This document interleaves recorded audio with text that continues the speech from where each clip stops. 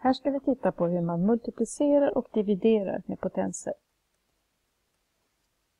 Eh, vi vet att 3 upphöjt till 2 är detsamma som 3 gånger 3. Om vi då multiplicerar 3 upphöjt till 2 med 3 upphöjt till 3 så måste det bli 3 gånger 3 gånger 3 gånger 3 gånger 3. Det vill säga att trean har multiplicerat sig med sig själv fem gånger. Och då vet vi ju sedan tidigare att då svaret blir 3 upphöjt till 5. Ja, hur får man då hur får man då 5 utav 2 och 3? Jo, om man adderar 2 och 3 så får man 5. Det vill säga att när man multiplicerar två potenser med samma bas så adderar man exponenterna. Och i det här fallet var exponenterna 2 och 3. och därför därför det var 5. Titta på ett annat exempel. 6 upphöjt till 4 multiplicerat med 6 upphöjt till 3. Vi vet att vi ska addera exponenterna. 4 plus 3 är lika med 7. Alltså blir svaret här 6 upphöjt till 7.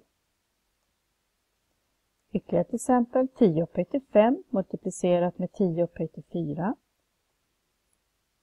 Eh, därför blir det 10 upphöjt till 5 plus 4, vilket är detsamma som 10 upphöjt till 9.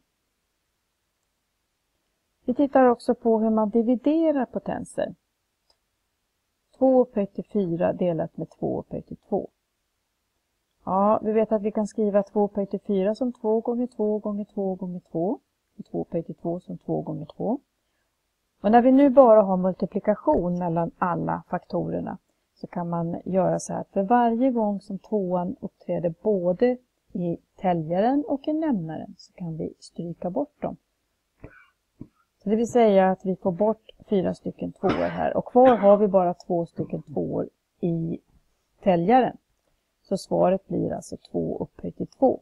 Så det vill säga när man dividerar två potenser med samma bas så subtraherar man exponenterna.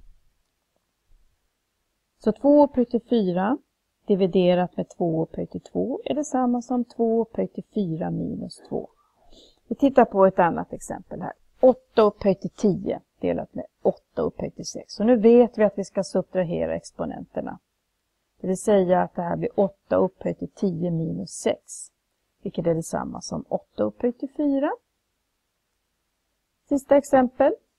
10 upphöjt till 5 delat med 10 upphöjt till 3. Vi vet att när man dividerar två potenser med samma bas så ska man subtrahera exponenterna. Vilket blir 10 upphöjt till 5 minus 3. Vilket är detsamma som 10 upphöjt till 2. Lycka till att räkna med potenser!